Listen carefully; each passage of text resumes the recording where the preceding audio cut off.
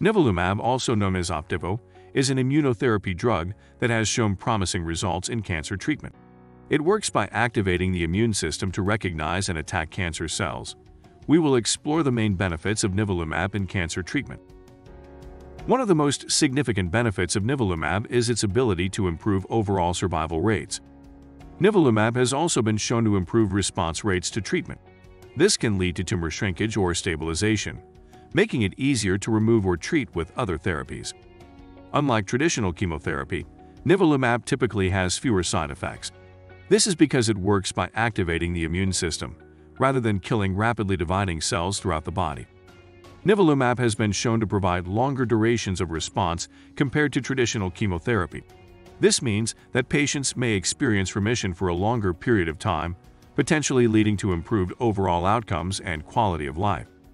Nivolumab can also be tailored to the individual patient's needs. The drug works by targeting specific proteins on cancer cells, which can vary from patient to patient. In conclusion, nivolumab is a promising new approach to cancer treatment, unlocking the power of the immune system to fight cancer cells.